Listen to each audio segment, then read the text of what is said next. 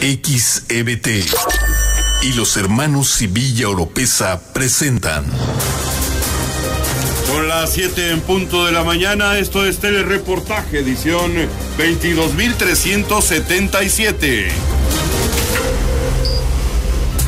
Se ubica Tabasco en tercer lugar nacional en proporción de casos positivos de influenza, informa el sistema de vigilancia epidemiológica. Atienden a más de 20 mil tabasqueños por diferentes enfermedades de transmisión sexual durante 2019, reporta Secretaría de Salud. Señala grupos en movimiento que tienen veladoras prendidas en espera de que en 2020 se reactive el programa Sencida. Se enferman 78 tabasqueños durante su estancia en hospitales públicos, reporta el Sistema Nacional de Vigilancia Epidemiológica. Por problemas financieros no se ha entregado medicamentos oncológicos, asegura Floricel Medina. Se registra el primer caso en Latinoamérica de melanoticinosis dérmica. El Senado regulará en 2020 uso lúdico de la marihuana. A principios de 2020 se iniciará con el proceso de simplificación de trámites, adelanta la SEDEC. La AMPROFEC estima repunte en la realización de eventos en el rubro petrolero en 2020. Califica el Consejo Coordinador Empresarial como muy moderado el crecimiento económico que se alcanzó este 2019. Irá en enero la Oficina de la Defensa del Consumidor contra casas de empeño para verificar las condiciones que ofrecen a sus clientes. Admite Canirac que sus agremiados mantienen adeudo en sus licencias de funcionamiento al Ayuntamiento de Centro. Informa el gobierno de España que investigará el incidente en la Embajada de México en Bolivia. Bolivia exige a Andrés Manuel López Obrador no intervenir en sus asuntos internos. Civiles se unen a cerco en la embajada tras el conflicto diplomático México contra Bolivia. Se solidariza Jesús Seade con la familia mexicana del mexicano asesinado en Canadá. galera! Ataque contra mí, contra México Libre, no me intimidan, expresa el expresidente Felipe Calderón. La empresa dueña de los derechos de Star Wars nombran como maestro Jedi al héroe del tiroteo en la Universidad de Charlotte. Incrementan 10% las denuncias por violencia familiar durante el 2019 en Tabasco,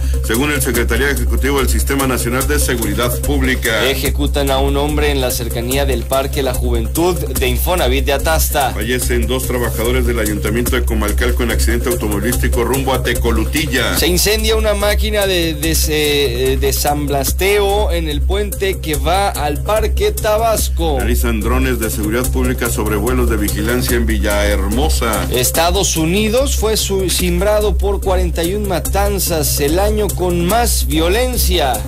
El PRI no ha tocado fondo, pero sí está en crisis como todos los demás partidos, reconoce Nicolás Bellicia. PRD necesita una cirugía que para recuperar espacios en 2021 sostiene el consejero Alipio Bando. Anuncia el diputado federal Ricardo de la Peña visita de la subsecretaria de Cultura Federal a Tabasco para promover proyectos culturales. El Musevi podría contar con pequeños acuarios y espacios para artesanos, dice Salvador Manrique. Luces y mariachi realizan fiesta privada al interior del acuario de Veracruz en la sala de la pecera oceánica donde está prohibido tomar fotografías con flash. Son las 7 de la mañana con 3 minutos. Hoy la final de vuelta del fútbol mexicano entre el América y el Monterrey. Cruz Azul. Empate las Chivas se mantienen con marca perfecta en la pretemporada. Jonathan Dos Santos externa sus deseos de disputar los Juegos Olímpicos de Tokio 2020 con la selección mexicana. Brasil e Italia reeditarán la final del Mundial 1994.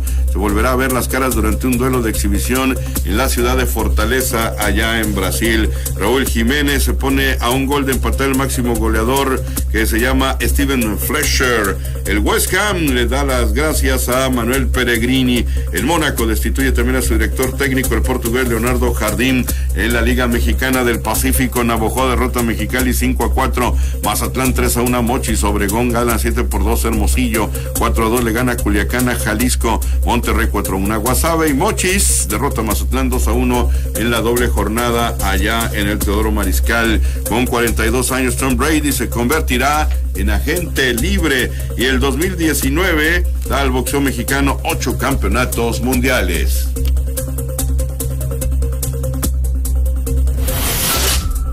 Telereportaje, el periódico del aire, el primero con las últimas noticias. Buenos días Villahermosa, buenos días Tabasco, buenos días Chiapas, buenos días Veracruz, buenos días Campeche, buenos días Yucatán, buenos días México.